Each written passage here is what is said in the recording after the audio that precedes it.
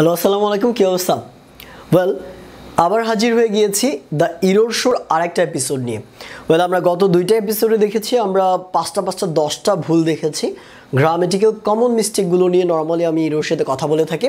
So আজকে আমরা দেখব এপিসোড থ্রি দ্যাট মিন্স আজকে তিন নম্বর পার্ট আজকেও আমরা ঠিক এমন কিছু কমন মিস্টেক নিয়ে কথা বলব যেগুলো আমরা সচরাচর করে থাকি। হয়তো জানি, কিন্তু ব্যবহার করার সময় বা দেখা যায় আমরা যখন লিখতে যাই বা কথা বলতে যাই, তখন এই ব্যবহারগুলো খুব ভুল হয়। ঠিক আছে? তো এই জিনিসগুলো যাতে কমে যায়, এই ভুলগুলো যাতে আমাদের মধ্যে কমে যায়, সেই লক্ষ্যেই কিন্তু আমার এই যে ইরোর শোর, এই এপিসোডগুলো চালানো। তো দেখো আজকে আমরা পাঁচটা ভুল নিয়ে কথা বলব, যেগুলো তোমাদের সচরাচর ভুল হয়ে থাকে।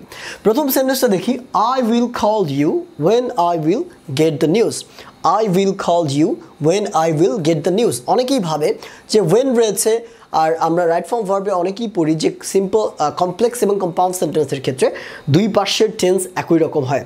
তো দেখো I will call you I will get the news এই ক্ষেত্রে এই ক্ষেত্রে সেম নিয়মটা যাবে না। সেম নিয়মটা ব্যবহার করা যাবে না। বিকজ ওয়েন যখন আমরা ব্যবহার করি, কোনো সেন্টেন্স দুইটা ক্লজ যখন ওয়েন দ্বারা যুক্ত থাকে, তখন প্রথম ক্লজটা ফিউচার হইলে পরবর্তী ক্লজটা হয় প্রেজেন্ট ইনডিফিনিট আমি আবার বলছি, প্রথম ক্লজটা ফিউচার হলে পরবর্তী ক্লজটা ওয়েনের পরবর্তী ক্লজটা হয় ফিউচার সরি প্রেজেন্ট ইনডিফিনিট তার মানে আমি যেখানে উইলটা ব্যবহার করেছি that's a very wrong answer right তা এখানে কি ব্যবহার করতে হবে?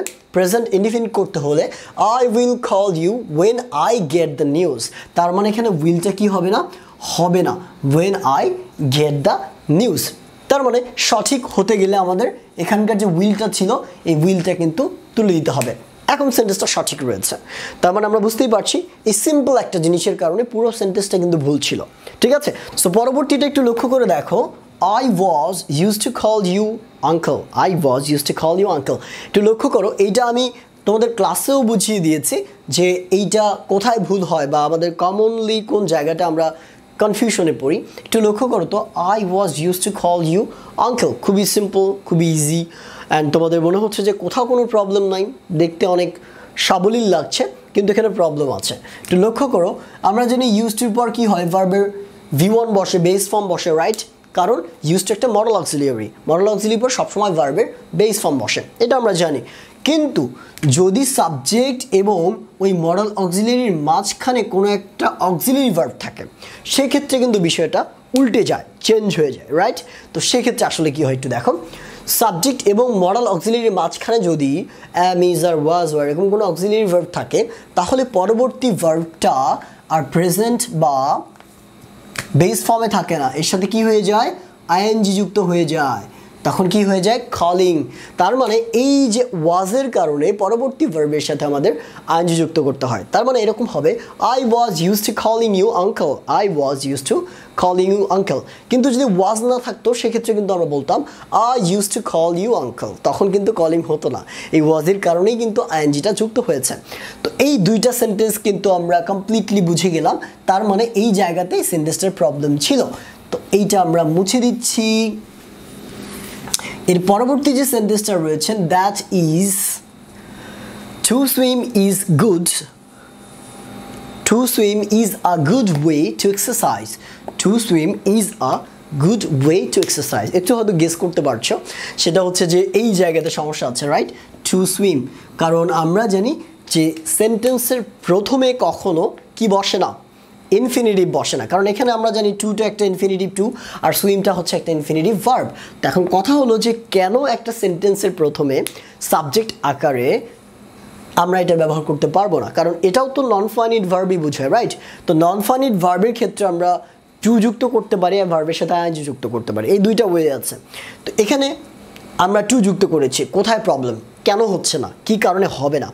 Well that's a good question তো দেখো, এইটা এই কারণেই হবে না বিকজ লক্ষ্য করে দেখো সেন্টেন্সের দুইটা অংশ রয়েছে। একটাকে আমরা বলছি প্রিডিকেট এই যে অক্সিলারি ভার্ব থেকে শুরু করে, এই অক্সিলারি ভার্ব থেকে শুরু করে পুরো অংশটাকে আমরা বলছি হচ্ছে প্রিডিকেট আর এই যে অক্সিলারি ভার্বের আগের অংশটা টু সুইম এইটা এখানে একটা সাবজেক্ট আকারে ব্যবহার করা হয়েছে। এটা একটা সাবজেক্ট আকারে ব্যবহৃত হয়েছে।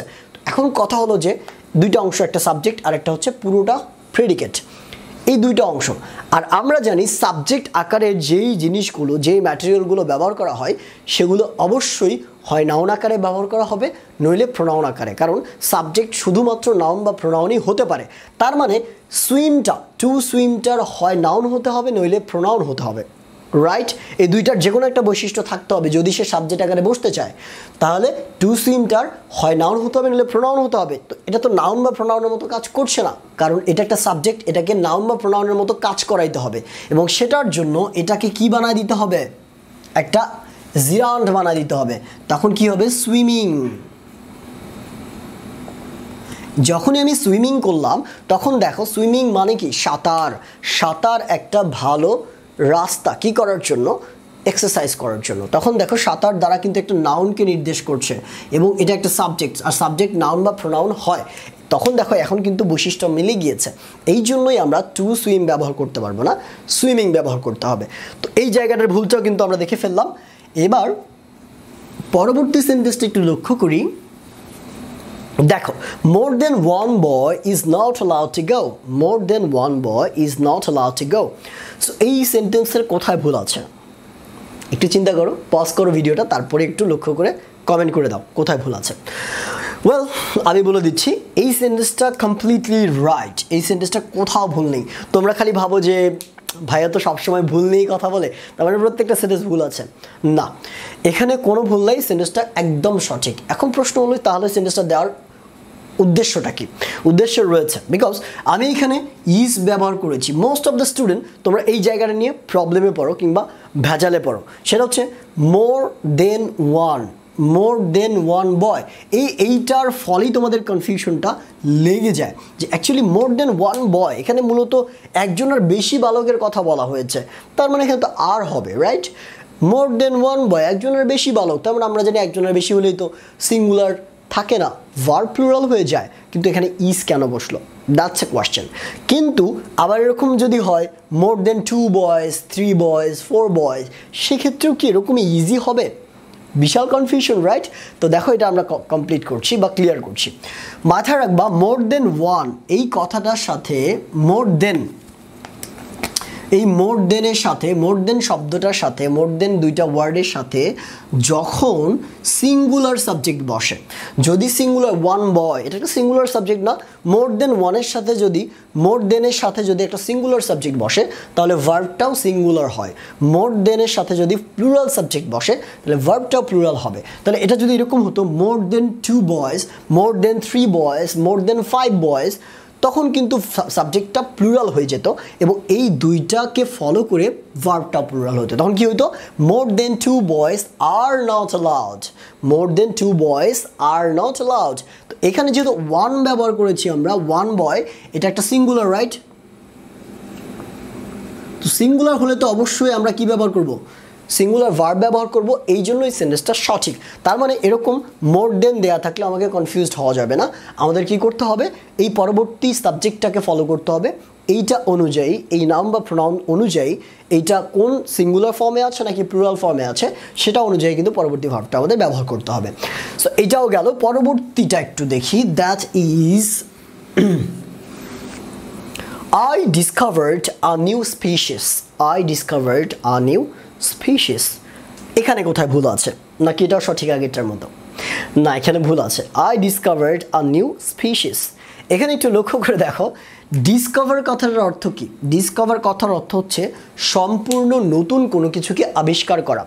সম্পূর্ণ নতুন কিছু, যেটা কখনোই কেউ আবিষ্কার করেনি, যেটা কখনোই কেউ দেখেনি, কখনোই কেউ জানতো না যে সম্পর্কে কমপ্লিটলি নতুন একটা জিনিসকে আবিষ্কার করা। সেরকম জিনিসকে আমরা বলছি ডিসকভার করা ডিসকভার ক্লিয়ার তো ডিসকভার মানেই যদি নতুন জিনিসকে আবিষ্কার করা হয়, তাহলে নতুন শব্দটা আবার দেওয়ার দরকার আছে?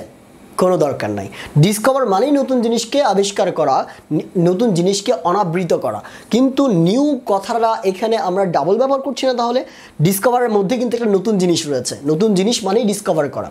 তাই ডিসকভারের ক্ষেত্রে নতুন জিনিস আমরা ডিসকভার করি, সেক্ষেত্রে আবার নতুন ব্যবহার করাটা একটা রিডান্ডেন্ট এটা একটা রিডান্ডেন্সি প্রবলেম বাহুল্য দোষ। এই জন্য এই নতুন শব্দটা ব্যবহার করা যাবে না। কারণ ডিসকভার মানেই হচ্ছে নতুন জিনিস কি, উন্মুক্ত করা বা ডিসকভার করা। তো সেই ক্ষেত্রে আমরা নিউ ব্যবহার করতে পারব না। আমরা ব্যবহার করব I discovered a species I discovered a species new ব্যবহার করলে কিন্তু ভুল হয়ে যাবে। এবং তখন এটা একটা রিডান্ডেন্ট হিসেবে কাজ করবে, যেটাকে আমরা বলি বাহুল্য দোষ। ক্লিয়ার সো এটা নিয়ে আরও কথা বলব ইনশাল্লাহ একটা পুরো ক্লাস বানাবো তোমাদের রিডান্ডেন্টের উপরে ইনশাল্লাহ তো দেখো, পাঁচটা ভুল। আমি আশা করছি তোমাদের, আমি তিনটা এপিসোডে তোমাদের যে তিন পাঁচ পনেরোটা ভুল দেখিয়েছি, এই পনেরোটা ভুল তোমরা আর কখনো করবা না। এর মধ্যে কিছু আছে ভাবগত সমস্যা, কিছু হচ্ছে স্ট্রাকচারাল প্রবলেম গ্রামেটিক্যাল সমস্যা, অনেক ধরনের প্রবলেম নিয়ে কিন্তু আমরা এগুলো তোমাদের সাথে ডিসকাস করি। তো অবশ্যই পরবর্তী ভিডিও দেখার আমন্ত্রণ জানাচ্ছি, আর যারা এখন পর্যন্ত সাবস্ক্রাইব করে তারা হিট দ্য সাবস্ক্রাইব বাটন আর অবশ্যই ভালো লাগলে শেয়ার করে দিবা। সো সি ইউ দেন আল্লাহ হাফিজ।